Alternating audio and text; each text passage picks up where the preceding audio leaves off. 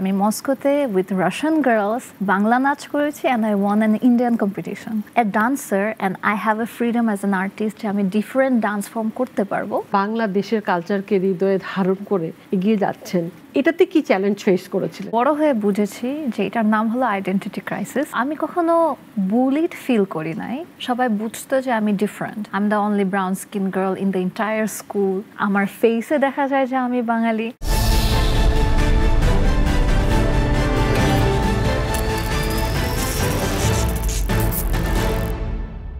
আসসালামু আলাইকুম। আমি আয়সা সিদ্দিকা, আবারও আপনাদের সামনে হাজির হয়েছি আমাদের নতুন স্টেলার ওমেনকে নিয়ে। আজকে BTI the Daily Star stellar women from culture Ridi শেখকে নিয়ে আমরা আপনাদের সামনে আলোচনা করব। তার গল্পগুলাই আমরা শুনব সবাই মিলে। চলুন শুরু করা যাক। আমরা পরিচয় করিয়ে দিচ্ছি আমাদের স্টেলার ওমেন রিদি শেখকে। আসসালামু আলাইকুম। ওয়ালাইকুম সালাম। থ্যাংক ইউ সো মাচ আমাকে এখানে আনার জন্য for BTI stellar award from BTI and Daily Star Thank you. becoming the stellar woman of BTI, the Daily Star Stellar Woman from Culture. Thank you And so far, we understand you deserved it. Thank you so much a stellar women হওয়ার গল্পটা তো আমরা শুনবই।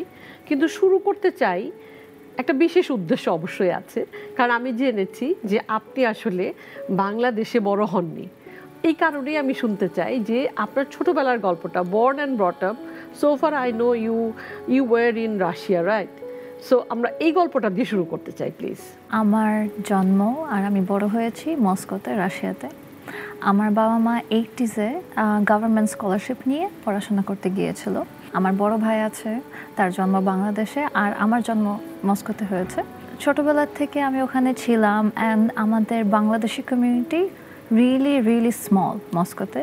But তারপরেও খুবই মানে mostly people go to Moscow for educational purposes so আমি চেষ্টা করেছিলাম আমার হেরিটেজ আমার রুটস যতটুক জানা পসিবল জানতে।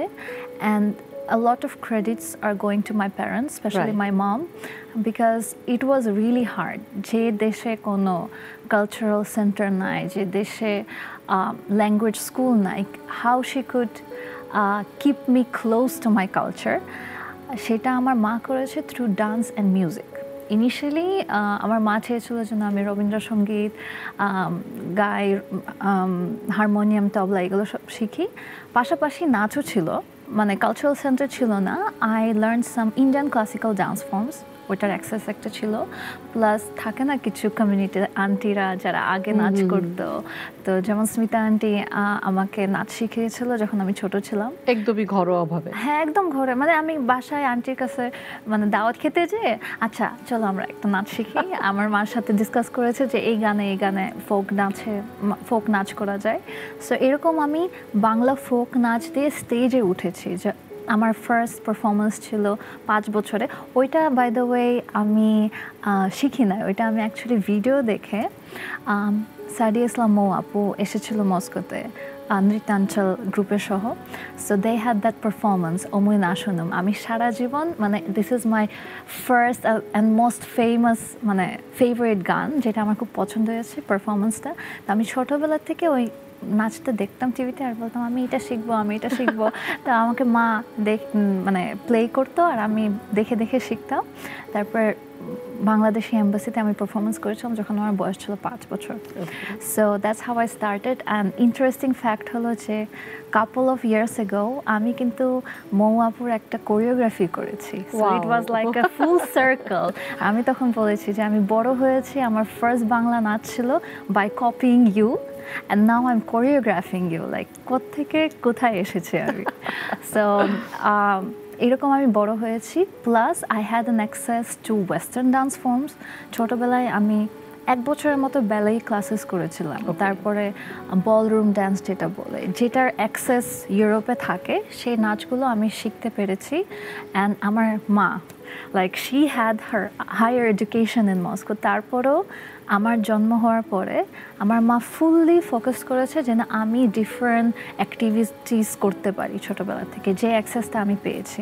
সো মিউজিক স্কুল আট বছর আমি করেছি ডান্স ক্লাসেস করেছিলাম ড্রয়িং ক্লাসেস করেছিলাম সব কিছু অ্যান্ড ইটস লাইক আমি স্কুলে যাচ্ছি স্কুল থেকে বের হয়ে লাঞ্চ করে আমি মিউজিক স্কুলে যাচ্ছি মিউজিক স্কুলটা শেষ হলো ছয়টার দিকে তারপর আমি ডান্স ক্লাসে যাচ্ছি। That was my life so credit goes to your mom এই যে বাংলা শেখাটা কথা বলতে পারাটা।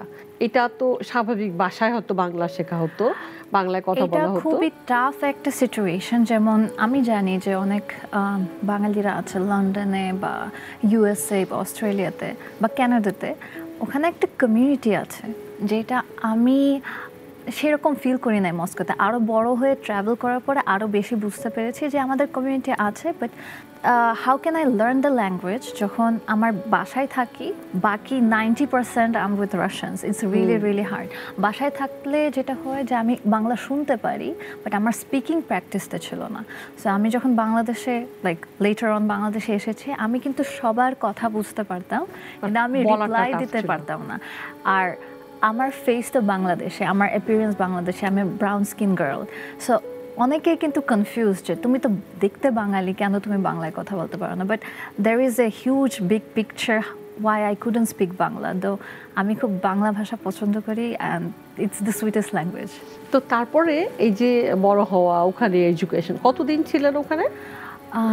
Twenty three years of my life uh, uh. হ্যাঁ একদম ছোটবেলা থেকে until I finished my university আমি ওখানে ছিলাম।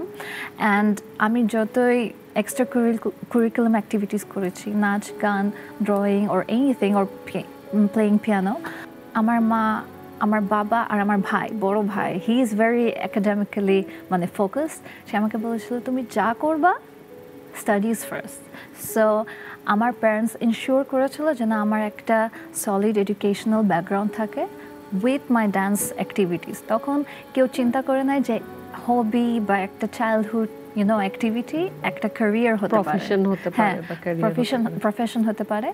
So my education was in top three economic universities in Russia, international economic relations and Ah. foreign affairs. That was my uh, educational background and it was মানে compulsory যে তুমি পড়াশোনা করবা তারপর নাচ করবা পড়াশোনা করতে না পারলে তাহলে নাচ পারবে এগুলা বাদ হ্যাঁ সো যা হয় brown parents ক্ষেত্রে। I had to maintain this but আমি বলব না যে আমাকে প্যারেন্টসরা সাপোর্ট করে নাই তারা সাপোর্ট করেছে যে আমি জাস্ট দৌড়ায় আসতাম স্কুল থেকে আমাকে এরকম খাওয়াই দিত যেন আমি তাড়াতাড়ি মিউজিক স্কুলে যেতে পারি সো তারা সাপোর্ট করেছেন বাট হ্যাঁ। তারা চেয়েছেন যে একটা সলিড ক্যারিয়ার হোক মানে হ্যাঁ। সলিড একটা বেজ হোক হ্যাঁ, সো হ্যাঁ, দ্যাট ইন ফিউচারে সাফার করতে না I am very very grateful for this যে তারা এরকম একটা মাইন্ডসেট আমার ভিতরে দিয়েছে। অ্যান্ড অনেকেই বলে যে কীভাবে তুমি এটা কম্বাইন করো? অ্যান্ড সত্যি কথা বলতে গেলে ইউ হ্যাভ টু স্যাক্রিফাইস যেমন আমার সোশ্যাল লাইফ কিন্তু ছোটবেলায় এত ওয়েস্ট ছিল না। মানে আমার ফ্রেন্ডস ছিল বাট আমি ফ্রেন্ডসদের সাথে যে ঘুরতে যাব বা পার্কে যাব আমার এই টাইমটা ছিল না। সো আমি ওই দিক থেকে একটু মিস আউট করেছি যেটা আমি এখন ফুলফিল করতে পারছি right so it's about right priorities right timing যখন আমাকে মেয়েরা জিজ্ঞাসা করে young girls they're asking me যে I want to pursue the career আমি তোমার মতো ডান্সার হতে চাই আমি তোমার মতো কোরিওগ্রাফার হতে চাই। তখন আমি বলি অফকোর্স ডান্স করবা প্র্যাকটিস করবা ট্রেন করবা স্কুলে যাবা বাট পড়াশোনা ফার্স্ট তুমি যদি এটা করতে না পারো তাহলে এটাও কিন্তু মেনটেন করা খুবই টাফ বিকজ এখন life is changing world is changing and it's not only about arts even মার্কেটিংও জানা উচিত how to promote yourself to do it on industry in the industry so international relation থেকে পড়াশোনা করে এসে যখন পড়াশোনা করছিলেন তখন হোয়াট ওয়াজ ইয়োর ভিশন যে আমি আসলে কি হতে চাই? তখন নিশ্চয়ই এই প্ল্যানটা ছিল না যে I will be a dancer ছোটবেলা থেকে নাচ ছিল আমার সাথে।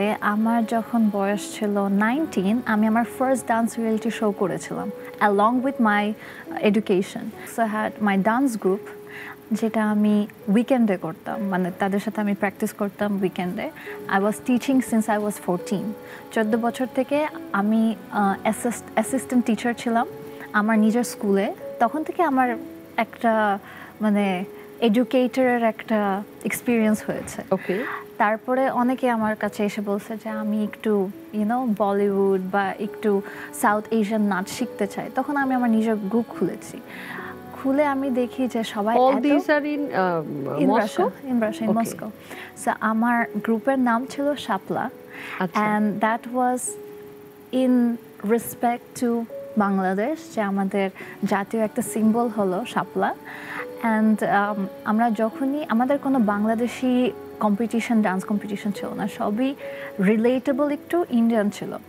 সো যখন হলি কম্পিটিশন হয় আমি আমার গ্রুপের সাথে ফার্স্ট স্টেজ পারফরমেন্স করেছি অময় নাসুম অময় নাসুনম গানে সো এই যে একটা সাইকেল চলেছিল। সো আমি যখন এটা পারফরমেন্স করেছি আমাদের প্রাইস ছিল ফার্স্ট সো ফার্স্ট ফার্স্ট প্লেসটা আমরা পেয়েছি অ্যান্ড আমরা রিপ্রেজেন্ট করেছি folk dance and it's a big achievement যে আমি মস্কোতে উইথ রাশিয়ান গার্লস বাংলা নাচ করেছি and I won an Indian competition so সেখান থেকে I got even more motivated যে আমি আরও নাচ নিয়ে কাজ করব। সো ব্যালেন্স আউট করতে করতে যখন আমার পড়াশোনা শেষ হয়ে গেছে আই গাট দ্য ডিপ্লোমা তখন আমার মা বলেছে, বাবা বলেছে, এখন তুমি যদি চাও তুমি কিন্তু পারসিউ করতে পারো because I already had that solid base so আমি সবসময় মেয়েদেরকে একটা মোটিভে মোটিভেশন দেওয়ার চেষ্টা করি that you always need to have plan A plan B plan C and have the base because world is changing every moment. Education And আমি যখন ভার্সিটিতে ছিলাম। লাইক মাই কোর্স মেটস কেউ ইউএনএ কাজ করছে কেউ কিপিএমজিতে গিয়েছে কেউ ইউনিলিভারে কাজ করছে বাট ইন রাশিয়ান সেক্টর আর কি রাশ- রাশিয়াতে আমি যেমন একটা ইন্টার্নশিপের অফার পেয়েছিলাম লরিয়ালে তো আমি ওখানে ছিলাম বাট অ্যাজ অ্যান ইন্টার্ন তারপরে এই গল্পগুলো শুনব। হ্যাঁ। ছোট্ট একটা ব্রেক নিয়ে আসি. হ্যাঁ? শুধু দর্শক আমরা শুনছিলাম রিদি শেখের গল্প। আমরা গল্পগুলো শুনব অবশ্যই। আমাদের সঙ্গেই থাকুন, ফিরে আসছি একটু পরেই। শুধু দর্শক, ফিরে এলাম বিরতির পর। আমরা আবারও ফিরে যাচ্ছি রিদি শেখের কাছে তার গল্প শোনার জন্য। রিদি এই যে আপনি আজকে এই পর্যায়ে এলেন মানে সম্পূর্ণ ভিন্ন একটা কালচারে বড় হয়ে বাংলাদেশের কালচারকে হৃদয়ে ধারণ করে এগিয়ে যাচ্ছেন এই যে ট্রানজিশনটা বা ট্রান্সফরমেশনটা এটাতে কি চ্যালেঞ্জ ফেস করেছিলেন? ডেফিনেটলি চ্যালেঞ্জ তো ছিলই রাইট বড় হয়ে বুঝেছি যে এটার নাম হলো আইডেন্টিটি ক্রাইসিস যেটা আমার ছিল। কারণ আমি কখনো বুলিড ফিল করি নাই। স্কুলে যখন ছিলাম আমাকে সবসময় রেসপেক্টফুলি সবাই বুঝতো যে আমি ডিফারেন্ট যে আমি একটু ডিফারেন্ট কালচার থেকে এসেছি। আম the only brown skin girl in the entire school so সবাই অ্যাকচুয়ালি আমার কালচারটা পছন্দ করতো। যে কোনো একটা প্রোগ্রাম হলে সবাই বলতো, শাড়ি পরে আসবা, শাড়ি পরে আসবা। ইভেন আমার নিজের প্রম নাইটে আমি যখন স্কুলে ছিলাম প্রম নাইট ছিল, তখন শাড়ি পরে গিয়েছে। যখন ভার্সিটি ছিল, তখনও শাড়ি পরে গিয়েছে। Because everyone really likes this culture যেটা আমি বাসা থেকে ক্যারি করে আনতাম। কিন্তু তারপরেও when you see that everyone আর সিমিলার কিন্তু তুমি ডিফারেন্ট তখনই আমার একটা জিনিস কাজ করতো যে actually I need to get back to my roots আমাকে একটু নিজের কালচার নিয়ে, একটু হেরিটেজ নিয়ে একটু বেশি কিছু জানতে হবে বা I always wanted to come to South Asia সেটা বাংলাদেশ ইন্ডিয়া এই রিজন একটু কাজ করতে জাস্ট টু আন্ডারস্ট্যান্ড আমি আসলে কোথেকে মানে কোথা থেকে এসেছি। সো আমি সবসময় ডান্স রিয়েলিটি শো করতে চেয়েছিলাম। তখন আমি জানতাম না যে বাংলাদেশে আছে। আমি জানতাম ইন্ডিয়ার একটা ডান্স রিয়েলিটি শো যেটা আমি পরে করতেও পেরেছি। ট্রায়ালের জন্য আমি রাশিয়াতে করেছি, আমি ইউক্রেনে করেছি। আর যখন একদম বুম সিজন হচ্ছিল ইন্ডিয়াতে তখন আমি আমার ভার্সিটি নিয়ে বিজি ছিলাম। So as I told you আগে স্টাডিজ তারপরে ডিফারেন্ট হবিজ ওর নাচ। তো আমি অ্যাপ্লাই করতে পারি নাই। তখন একদিন আমাকে মা বলছে আচ্ছা তুমি যে ডান্স রিয়েলিটি শো করতে চাও ইন্ডিয়াতে কিন্তু তুমি তো বাংলাদেশেও কাজ করতে চেয়েছিলে। আমি লাইক হ্যাঁ। তখন আমাকে মা বলছে যে বাংলাদেশে কিন্তু একটা ডান্স রিয়েলিটি শো চলছে। আর মা সবসময় বাংলাদেশকে মিস করার জন্য কেবল টিভি বাংলাদেশি চ্যানেলস সব দেখতো। তো বলছে যে আমি দেখলাম যে অডিশন চলছে তুমি কি করবা? শি ওয়াজ আপডেটেড হ্যাঁ শি ওয়াজ আপডেটেড তুমি কি করবা? লাইক হ্যাঁ ওয়াই নট তখন আমার স্টাডিজ কমপ্লিট তখন আমি জব করতাম। জব করতাম in HR executive search also different একটা story that's a very different একটা লাইন বাট আমি বলেছি যে আচ্ছা চলো যাই। অ্যান্ড লিটারেলি দুই সপ্তাহে আমি জাস্ট আমার বসকে বলেছি যে I have to go to Bangladesh একটা প্রজেক্ট করে চলে আসব আমাকে এক মাস দেন। যে এক মাসটা আট আট মাস হয়ে গেছিল পরে। বাট আমি বলছি যে আমাকে জাস্ট এক মাস দিন। তো আমি দুই সপ্তাহে সব কিছু গুছায় মস্কোতে রেখে came to Dhaka back in in two thousand sixteen two thousand sixteen আমি এসেছি।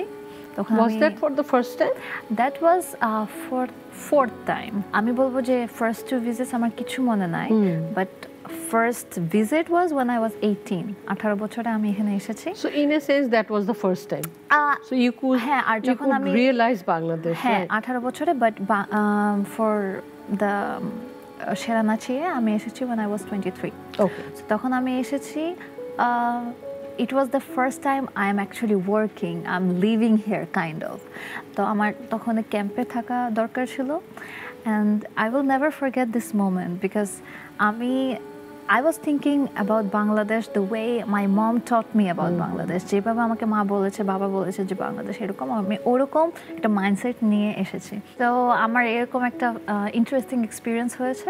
তারপরে আমি বাংলাদেশে কাজ করা শুরু করেছি। আমি আসা যাওয়ার উপরে ছিলাম। আমি কখনো চিন্তা করিনি যে আমি এখানে সেটেল হব। ওই আমার রিয়েলিটি শোটার রেজাল্ট কি হলো? আই ওয়াজ দ্য উইনার ভুলে যাই Oh. বলতে I won the show I was the champion তারপর থেকে I started doing other projects here music videos বা কোরিওগ্রাফিস আমি ইভেন নাটকও করেছি, যেগুলো আমি দেখতে পছন্দ করি না, কারণ তখন আমি বাংলায় কথা বলতে পারতাম না, নাটক খুব বেশি ভালো করি নাই আমি। আসা যাওয়ার উপরে ছিলাম, দুই হাজার সতেরো সালে আমি ইন্ডিয়াতে গিয়েছি, যেটা হলো আমার dream project dance plus with Remo Souza আর সেখানে I represented Bangladesh. So I had that choice, and I always have that choice. যেহেতু আমি রাশিয়াতে বড় হয়েছি I can represent Russia or I can represent Bangladesh. But I think I relate to Bangladesh more. আমার ফেসে দেখা যায় যে আমি বাঙালি and I feel that Bangladesh needs more recognition, more representation. R Russia is always there and I love Russia. আমি রাশিয়াতে ঘুরতে যাই and that's my childhood. This is where I'm coming from. But আমি চেষ্টা করছি বাংলাদেশকে হাইলাইট করতে on international arena. So এখান থেকেই শুরু আসলে ব্র্যান্ডিং বাংলাদেশটা রাইট না আমি মস্কোতে যখন ছিলাম তখন তো আমার শাপলা ডান্স গ্রুপ ছিল তখনও আমি ব্র্যান্ডিং করতাম ছিল বাট এই যে একটা রেকগনিশন পাওয়ার পর মানুষ আপনাকে জানতে শুরু করল তাই না? তখন কিন্তু আপনি চাইলেই you could get back to Russia or you can আপনি আপনার কাজ নিয়ে পড়ে থাকতে পারতেন। আপনি এটাকে আসলে আরও ব্যক্তিটা তো আরও বার নাও বাড়তে পারতো if you didn't wish for right হ্যাঁ সো আমি চেষ্টা করছি ভালো কাজ করতে। ভুলও থাকে আমার অনেক। আমি হয়তো বা কিছু প্রজেক্টে আমি আমার বেস্ট দিতে পারি না but I am still trying and I hope যে আমরা আমাদের কালচার আমাদের ট্রেডিশনাল নাচ বা আমাদের কিছু মিউজিক নিয়ে আরও ইন্টারন্যাশনালি ফেমাস হতে পারব মানে অ্যাক্লেম করতে পারব কিছু এই যে ইন্টারন্যাশনালি ফেমাস হওয়াটা। এই ইচ্ছাটা কেন এটা আরেকটা জিনিস হলো আমি কখনো সেলিব্রিটি হতে চাই না আমি কখনো ফেমাস হতে চাই না it's the part of my job এখন আমি যদি রেকগনিশন পাই আমি অটোমেটিকলি ফেমাস হব। অ্যান্ড ফেমাস মানে ফেম আমি যদি পাই আমি নেক্সট স্টেপে আরও কিছু করতে পারব। যেমন আমাকে কিছু মানুষ আগে জিজ্ঞাসা করতো যে তুমি যখন ফার্স্ট ডান্স রিয়েলিটি শো ইউক্রেনে করেছ why did you perform to Bollywood song so ওখানে একটা ডিমান্ড ছিল। আমি ওখানে যেই ফার্স্ট সেন্টেন্স আমার ছিল যে, আমি বড় হয়েছি মস্কোতে, রাশিয়াতে বাট আমার বাবা মা কিন্তু বাংলাদেশ থেকে। দিস ইজ মাই মানে আমার একটা ফ্রেজ যেটা আমি সব জায়গায় বলতাম যে, না, বাংলাদেশ অ্যাটলিস্ট সবাই শুনে that there is a country that I can represent and I want to represent আর তারপরে যদি আমাকে কোথাও বলিউড নাচ করে একটা স্টেপ নিতে হয় রিপ্রেজেন্টেশন করতে হয়। তারপরে যদি আমি বাংলাদেশি কিছু ইন্টারেস্টিং প্রজেক্ট করতে পারি তাহলে তো আরও better so there is no first of all আমাকে একটা বেস পেতে হবে হ্যাঁ right? বাইস মানে বেস পেতে হবে প্লাস কিছু মিউজিক কপিরাইটের ইস্যু থাকে। তো তখন আমাকে বলেছিল যে তুমি কেন বলিউড নাচ করেছ? But I am a dancer and I have a freedom as an artist আমি ডিফারেন্ট ডান্স ফর্ম করতে পারব। যেমন আমি ইন্ডিয়াতে যাওয়ার পরে আমি ওয়াকিং ডান্স ফর্ম করেছি which is an American dance form so I am trying my best to do different works And I you you uh, learned ballet also, right? Ballet আমি ছোটোবেলায় করেছিলাম এক বছর but I am trying to do different work and through that work represent Bangladesh right এখন এই right at this moment কি চিন্তা করছেন বা কি করছেন? অ্যাট দ্য মোমেন্ট আমার ডান্স স্কুল আছে যেটা আমি রিসেন্টলি এই বছরে খুলেছি। কি নাম আমার? Ridy Sheikh star base dance studio আর আমি খুবই খুশি কারণ আমার সবচেয়ে প্যাকড ব্যাচ হলো বাচ্চাদের ব্যাচ যেটা আমি অ্যাকচুয়ালি এক্সপেক্ট করি না। আমি জানতাম আমি জানতাম যে বাচ্চারা নাচ শিখতে চায়। আমাকে অনেকে অ্যাপ্রোচ করেছিল যে আমার মেয়ে আছে আমার ছেলে আছে আমরা একটু ডান্স ক্লাসে নিতে চাই। বাট আমি এক্সপেক্ট করি না যে এটা এত পপুলার হবে মোর পপুলার দ্যান অ্যাডাল্টস আর আমি চেষ্টা করছি ডিফারেন্ট ডান্স ফর্ম আনতে। And I want to bring it to different level যেমন আমি মস্কোতে নাচ শিখতাম, যে আমি একটা স্কুলে যেতাম, আমি ডিফারেন্ট ডান্স ফর্ম শিখতে পারতাম ডিফারেন্ট টিচারের কাছে যাইতাম। শুধু একটা ডান্স ফর্ম শিখতাম না, যেটা আমার I think that's my biggest point advantage আমি ডিফারেন্ট ডান্স ফর্ম অল্প অল্প করেও শিখেছি।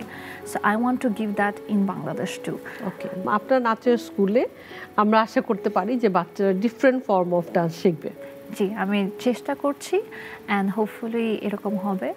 আমি আরও দেখি if I can bring teachers from Russia কারণ অনেকেই ব্যালে শিখতে চায়। বিটিআই দ্য ডেইলি স্টার স্টেলার ওমেনের প্ল্যাটফর্মে দাঁড়িয়ে আপনাকে যারা ফলো করছে বাংলাদেশের মেয়েরা যারা এগিয়ে আসার চেষ্টা করছে তাদের উদ্দেশ্যে কি বলবেন? আমি বলব that the sky is the limit because তুমি যদি কিছু নিয়ে ইন্সপায়ার্ড থাকো মোটিভেটেড থাকো if you believe in yourself if you work hard তুমি যে কোনো জিনিস জীবনে করতে পারবা।